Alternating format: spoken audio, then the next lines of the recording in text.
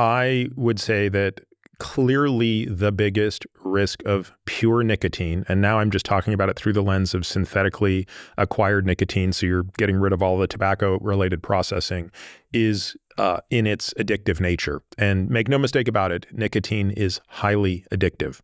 There are some other areas where depending on the dose, there may actually be a harm. Again, I think this is very important to understand. There are some mechanistic insights that suggest a negative uh, impact on the endothelium.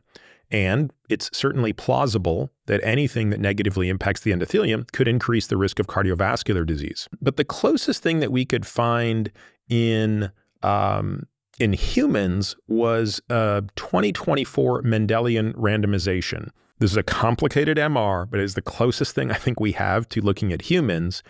And it's looking at how much people smoked, how quickly they metabolize nicotine, trying to do an overlay of that to, to, to appreciate the nicotine exposure.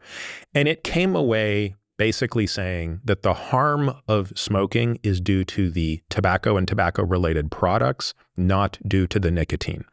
I want to be clear this is way, way far away from what you would want to be able to say is level one evidence, right? If you wanted to do this in a level one fashion, you would actually have to randomize people to a whole bunch of different tobacco free nicotine products and study the outcomes of interest. Now, of course, nobody's going to do that for hard outcomes like mortality, uh, but I certainly think people could do that for softer outcomes. Um, uh, and, and, and my hope is that, that somewhere along there, people, people do that.